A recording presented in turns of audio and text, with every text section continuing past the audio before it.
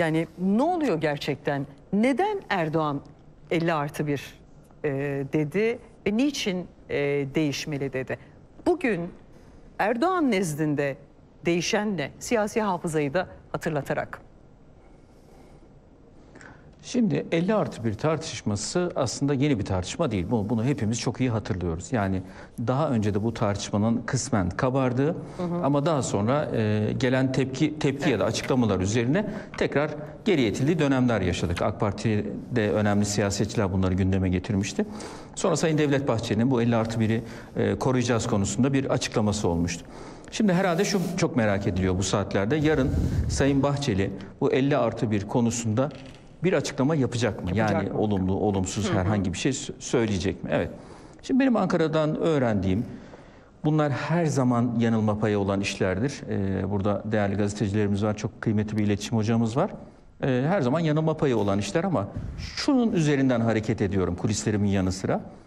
Şu ana kadar çok kritik meselelerde, çok bir tane istisna hariç, andığımız konusu hariç, ee, AK Parti ile Milliyetçi Hareket Partisi, Cumhur İttifakı'nın iki ana bileşeni bu tür kritik konuları, konuları konuşarak, müzakere ederek ilerlediler. Dolayısıyla da herhangi biri diğerini açığa düşürmedi. Evet. Mesela e, bu 7 Ekim öncesindeki e, tabloda deseydik ki AK Parti bu konularda daha e, sert, daha böyle meseleye sahip çıkan bir noktada duruyor ama Milliyetçi Hareket Partisi daha soğukkanlı, bir tık daha geride durabilir. Sanıyorum bunu kimse yadırgamazdı. Bu herhangi birinin duyarsız olduğu anlamına gelmiyor. Bir üslup farkından söz ediyorum. Fakat öyle olmadığı gibi hatta neredeyse Milliyetçi Hareket Partisi'ne ve Sayın Genel Başkanı'ndan, Bahçeli'den, Sayın Bahçeli'den gelen açıklamalar aynı düzeyde sertti, aynı düzeyde sahipleniciydi. Tarihsel boyutuna, duygusal boyutuna, insani boyutuna, e, Türkiye'nin güvenliği boyutuna aynı noktalardan vurgular yaparak devam ettiler. Hali hazırda da öyle devam ediyor. Peki 50 artı 1'de öyle olur mu? Benim tahminim yine öyle olacaktır. Birincisi bu hani beklenen soruların cevapları üzerinden gitmeye çalışalım. İkincisi niye bugün böyle bir şey gündeme geldi? Şimdi tam buraya gelirken AK birkaç isimle hızlı hızlı konuşmalar yapmaya çalıştım. Hatta bir tanesini tam yayına girerken artık kapatmak durumunda kaldım. Arkadaşlara da takıldım beni kulis yaparken yakaladınız diye. Gördüğüm kadarıyla şöyle bir e, şey var. Şimdi iki tane seçimi 50 artı 1 ile Sayın Cumhurbaşkanı kazandı. Hı hı. Yani e, bunlar hakikaten Türkiye açısından çok zorlu seçimlerdi. Son derece gergin seçimlerdi vesaire.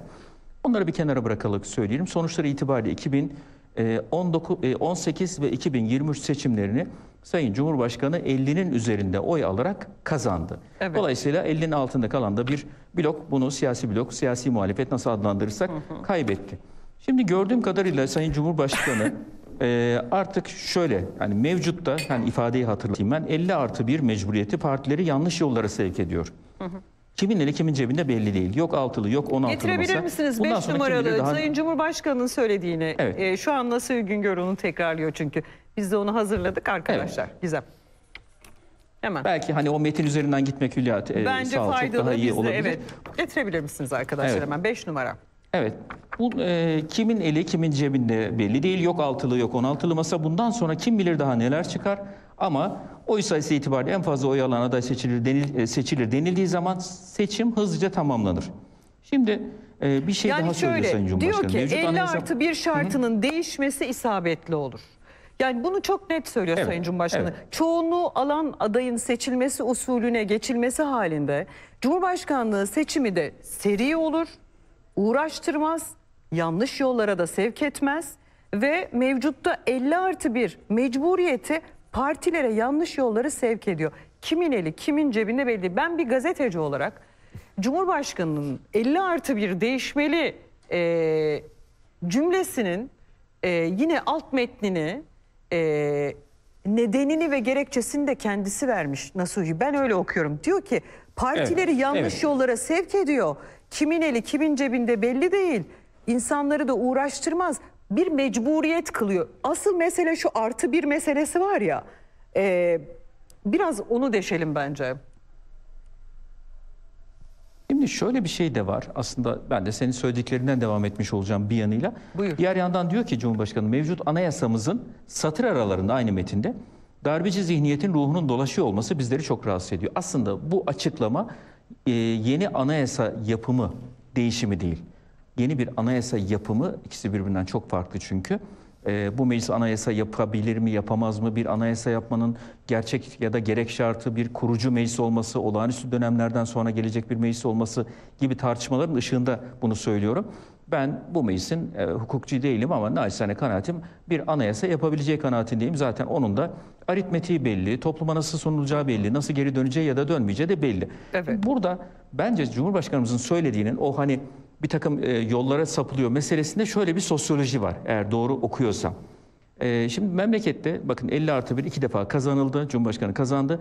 Son seçimde Mayıs 14 ve 28 itibariyle kazandığı seçim sonrasında muhalefet cephesine bir bakalım. Yani bir takım alternatifler, ittifaklar, yan yana dizilişler bütün bunları yaptılar. Bunların oluşturduğu ciddi rahatsızlıklar da oldu. Mesela hali hazırda Cumhuriyet Halk Partisi'nin listesinden seçilen dört partinin ne kadar oya sahip olduğu için ne kadar milletvekili aldığı konusunda herhangi bir fikrimiz yok. Çünkü o masa, e, o ittifak bunu tartışacak zaman bile bulamadı bir telaş içinde. Sonrasında da şu tabloyu görmedik mi hep birlikte? Muhalefette ya artık seçimlerle Türkiye'de bir şey değiştiremeyiz. Ne olursa olsun Tayyip Erdoğan kazanıyor gibi de bir algı oluştu. Bir e, devlet aklı bu konuda, siyasi akıldan daha öte söylüyorum bunu. Ben daha bunu bir e, kapsayıcı bir akıl olarak tarif ediyorum naçizane kendimce.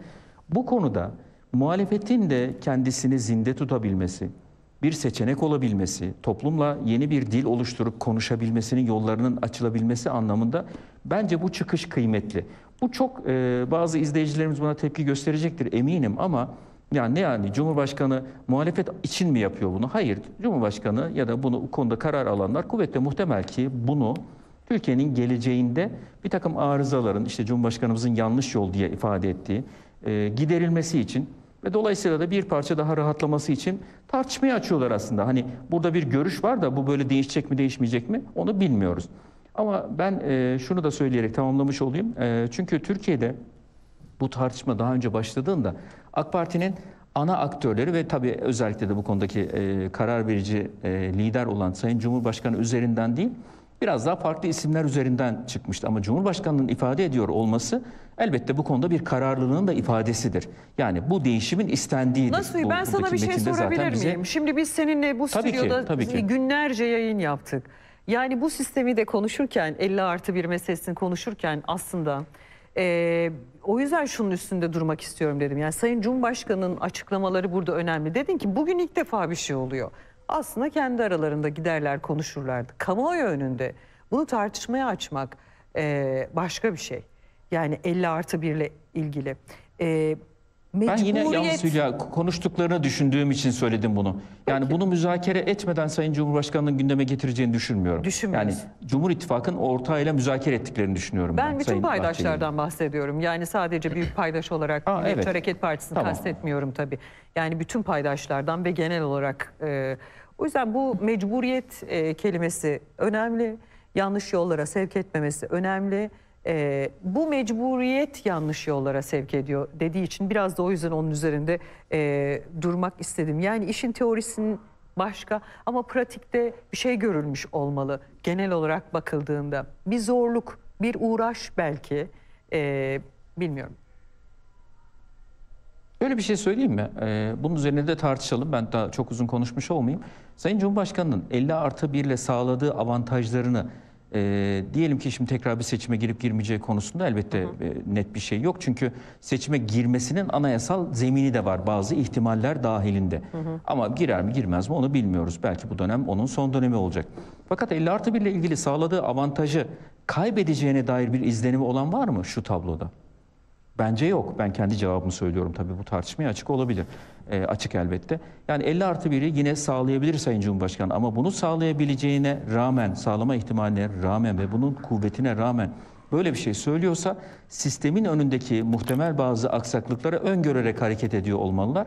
Bunu anlamaya çalışırım ama 50 artı 1 bence 2018'de ve 2023'te sonuç verdi. 2028 seçimlerinde de AK Parti'nin bulunduğu merkezde sonuç vermemesiyle ilgili bir ihtimal var mı yok mu? Bu şuna bağlı. Onu da söyleyeyim. Bu da başka bir tartışma açacaktır mutlaka.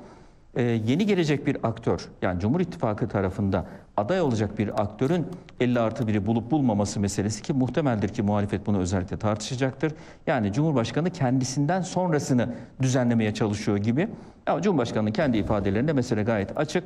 Yani siyasetin önünü açmak, bir takım mecburiyetlerin, ittifakların ortaya çıkardığı bir takım dayatmaların siyaseti esir almasından kurtarılması gibi bir çerçeve sunuluyor bu. Bakalım kamuoyu bunu nasıl algılayacak, nasıl tartışacak?